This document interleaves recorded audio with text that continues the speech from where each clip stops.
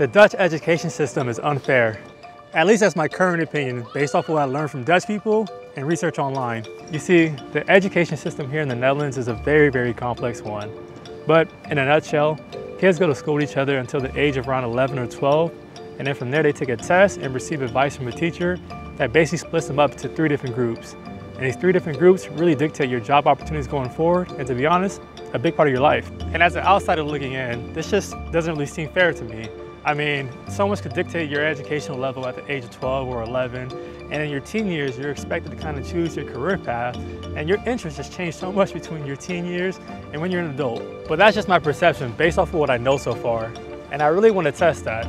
So in this video, I'll sit with a college professor here in the Netherlands to really understand how the system works here, and I also speak with some people on the streets to understand what was their experience with the Dutch school system. And after that, I'll determine whether or not my opinion changes.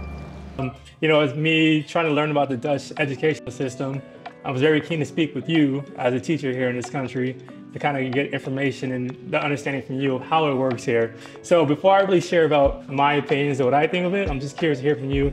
How would you explain how the system works here in this country? Basically, all students start at um, primary school. Yeah. And we have eight grades in primary school. Mm -hmm. And at some point, the students have to make tests Mm -hmm. And those tests are uh, used to assess their level. Because after primary school, we have secondary school. and are, there are basically three levels um, within secondary school. And those are like MBO, HAVO, and VWO, which is the highest. Mm -hmm. And um, I think they are assessed in the seventh grade and then again in the eighth grade. Okay. And on based on that, they get their advice, mm -hmm. basically. And is it a standard test that everyone everyone takes the same exact yeah, test? Yeah. They are usually at that point. I think they're 11 or 12 years old. Yeah. And that advice it determines the rest of their their school career. Quick time out. Before I get a lot of angry comments, I want to lay a few ground rules for this video. First, I'm aware there are a lot of different parts of the Dutch education system that are not covered in this video, but it's so complex of a system that it'd be impossible to cover it all. Second, this video isn't meant to compare the American system and the Dutch system and say the American system is better. No, I'm just trying to analyze the Dutch system and understand if my opinion is valid or just challenge my opinion in general. And lastly, for any Dutch people or anyone that's gone through the Dutch education system, let me know in the comments, what was your experience like? What's your opinion? Thank you and continue watching. Wat voor niveau heb je gedaan voor je opleiding? Uh, VWO. Uh, het HBO. Uh, ik heb op de middelbare school VWO gedaan en daarna ben ik doorgegaan naar de universiteit. Ik heb uh, meerdere opleidingen gedaan. Ik heb niveau 2 en niveau 3 gedaan, allebei MBO. Oké, okay, wat zou je zeggen was jouw ervaring uh, in de Nederlandse schoolsysteem? Mijn ervaring op zich goed, maar ik heb in België gestudeerd uiteindelijk mijn master, dus het was een bewuste keuze. Het was allemaal wat, wat makkelijk met kamers. Ehm, ik heb er verschillende meningen over. Bijvoorbeeld? Het is uh, redelijk complex en je bent um, best wel afhankelijk van wat er wordt bepaald wanneer je 12 jaar bent. En dan weet je gewoon nog niet zo heel erg veel. Maar het is wel heel erg bepalend eigenlijk voor de rest van je toekomst.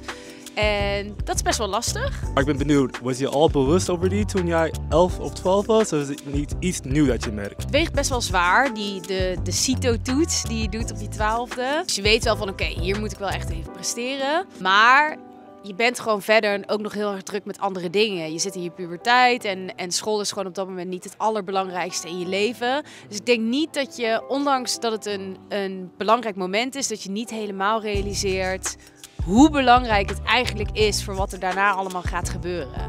Ik denk aan de ene kant is het wel ergens logisch dat je wordt ingedeeld op wat je kan, zeg maar je potentieel. Aan de andere kant denk ik niet dat voor iedereen, dat ze bijvoorbeeld goed in wiskunde zijn of in biologie, dat ze ook meteen goed in talen zijn. Dus dat ze iedereen op één grote hoop gooien. Students are then what, 14, 15, 14, 15, and they have to decide, okay, what do I want to be in life? Because mm. we have in Dutch we have profiles. Yeah. So you have like a technical profile or an economic profile. They have to choose that. So sometimes, not always, but sometimes students who, for instance, choose an economic profile, mm -hmm.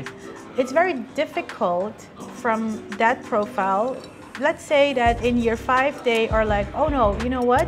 Actually, I want to be a doctor. Yeah. Then they don't have the the courses followed in year four and in year five. They're on a whole different track. They're, they're on a whole different track. In my opinion, students, they have to choose too early mm -hmm. what profile and therefore what direction they want to follow. Ik weet, hier in Nederland moet je heel vroeg kiezen, een beetje over je pad of zo. Wat denk jij over die? Ja, ik vind het eigenlijk geen goed ding. Ik, uh, ik, ben, uh, ik heb nu een beetje goed gekeken naar andere landen hoe ze dat doen. En dan uh, vind ik dat we in Nederland te snel een beslissing nemen. Dus dat je op een gegeven moment al vanaf je 11e, vanaf je 12e moet je al een keuze maken. Wordt de keuze voor je gemaakt.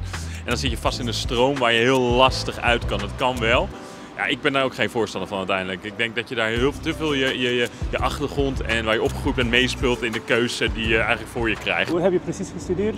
In, uh, economie. Hoe is je bewustzijn, ik wil dit doen? Ik wist het eigenlijk altijd al. Ik heb nog wel vandaag gedacht over rechten. Uh, maar ik heb economie altijd heel interessant gevonden. Ik lees nog steeds elke dag uh, economische artikelen. Ik luister naar economische podcasts. Dus ik wist eigenlijk altijd al van economie is gewoon echt wat ik wil gaan doen. Ja. En ik ben nog steeds blij met de keuze die ik heb gemaakt. Ja, leuk. Dus persoonlijk had je geen last van, uh, van een vroege leeftijd te kiezen wat, wat je moet studeren of wat je wilt doen in het leven.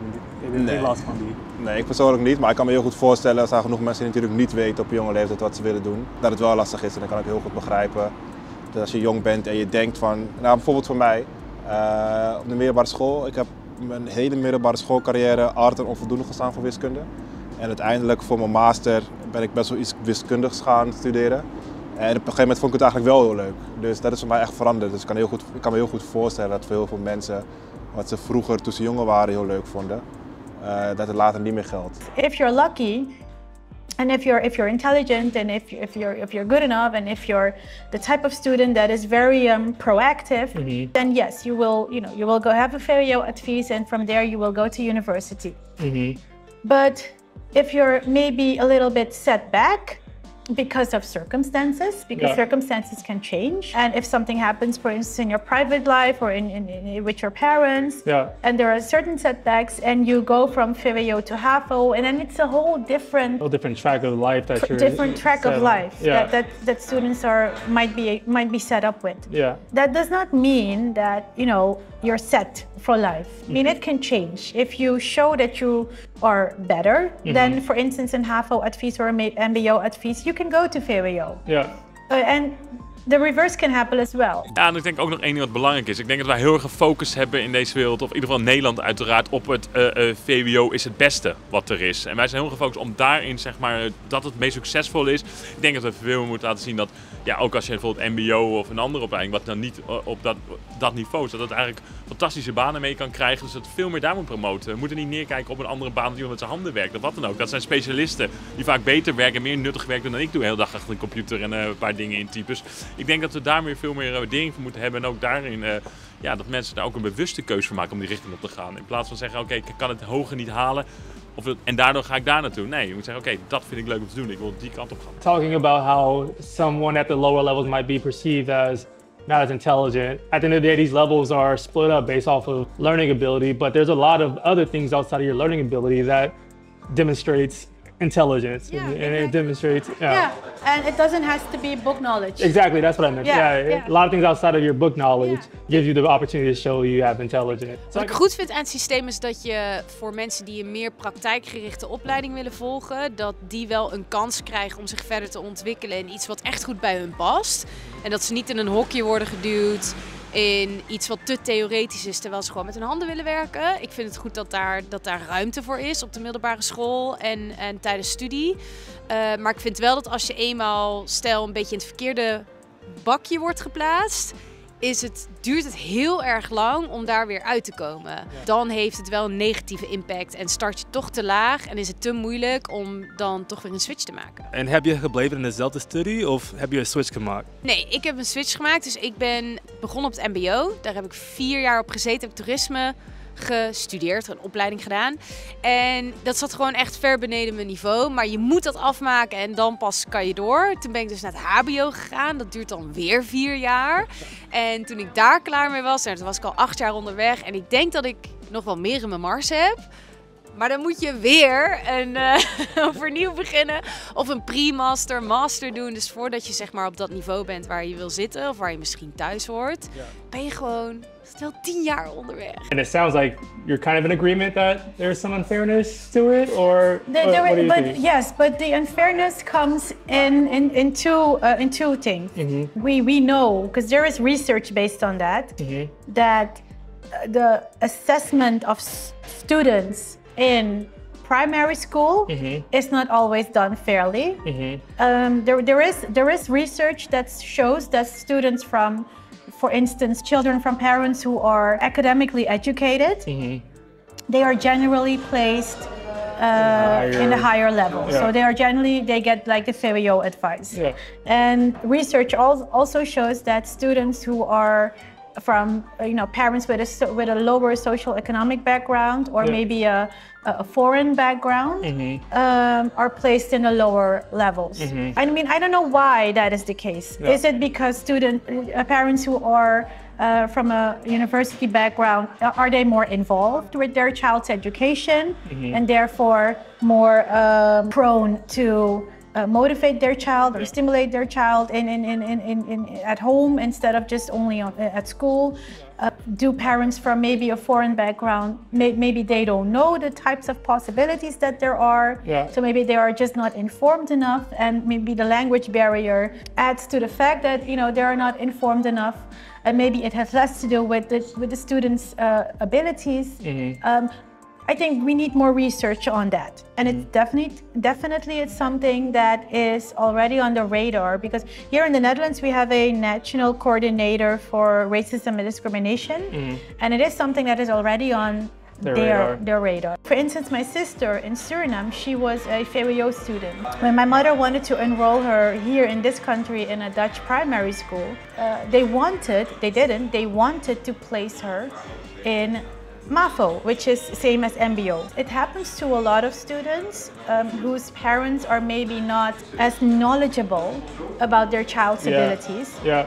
And they don't question the advice that the school gives those uh, those kids. Gotcha. Whereas my mother was a teacher, so she knew that her daughter had more in her yeah. than uh, and the only reason why they uh, gave her that advice is because she came from a different country mm. but because my mom was adamant that she was placed in VWO my sister was placed in VWO and eventually she went to university etc etc mm. gebruik je ook wat je hebt gestudeerd Nee, ik, uh, ik gebruik helemaal niks meer. Ik doe nu een hele andere richting qua werken en zo. Uh, wat ik nu doe vind ik eigenlijk veel leuker. En, uh, maar ja, dat, ik ben nu bijna 23. En uh, ik begon de school toen ik, moest kiezen toen ik 17 jaar oud was. Dus ja, dat is wel, wel heel wat anders, zeg maar. Ja. En wat doe jij nu? Ik uh, werk nu als cameraman en uh, fotograaf. dat doe ik als freelance. En dan daarnaast werk ik nog in de winkel. I'm curious, what would you say? I mean, I feel like we kind of talked a lot about maybe some of the drawbacks.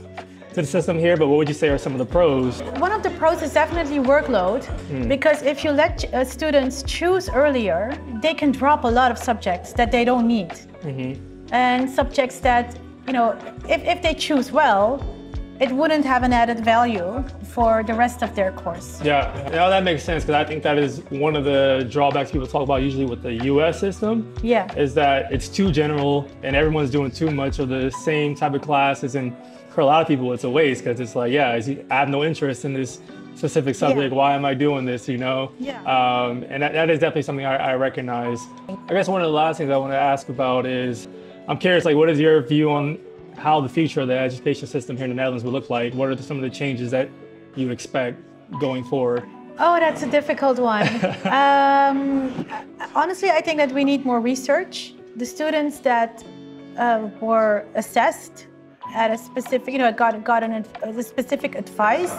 What are they doing now mm-hmm. um, in life? Mm-hmm. Because you know, you, you have to you have to imagine that we are talking about 10, 11, 12 year olds, and they this is the first time that they're doing such an extensive test. Uh, add stress, mm-hmm. um, add like blackouts, fear yeah. in, into the equation. In the HBO, because I teach in HBO, we are going away, we're moving away from exams and testing mm-hmm. to more uh, deliverables like assessments and projects and professional products. So there is a, at least in higher education, there is a, a it, it, there is a shift happening to more practical yeah type assessments yeah. and everything. Yeah. Which to me makes a lot of sense. To Yeah, and, and I think students will be even you know the youngsters they would be uh, they would benefit from that as well. I Yeah. think because it is stressful for them. yeah, I mean they're 10, 11, 12, so yeah. I mean I wouldn't cope with the stress at that age. yeah, I hardly cope with it now, let alone when I'm 10 or 11. yeah. so after working on this video for about a week, doing interviews, research online, and thinking about all the information, it's time to answer the question, do I still find the Dutch education system unfair? Yes or no? And the answer is slightly. Let me explain. What I like about the system is the idea, the principle, that basically not everybody has the same learning ability, not everyone has the same interest, so it tries to give you a very customized, very specialized learning experience. I like that. But the problem for me still is that this classification happens so young between getting placed in one of the three different groups and also kind of choosing your career path. I just feel like so much changes from that age that you have to decide those things or that it's decided for you to when you're an adult and you have more of an idea of yourself, your capabilities, etc. I feel like the system doesn't really leave a lot of room for that growth to happen. And yeah, I know you can move up to the different levels, but at the end of the day, it's a lot harder to do so. And when you're like a teen, you're not really thinking to go above and beyond. I know there's exceptions, but typically speaking, let's be real, that's not really your mindset. And so I feel personally, the system, the idea that once again, kind of having more of a specialized education, that's nice. But give people, give kids a little bit more time, a little more room to figure out themselves, learn more about themselves, and then decide those things. That's just my personal opinion. But let me know what you think. Let me know what your experience is like. Let me know if you agree, disagree.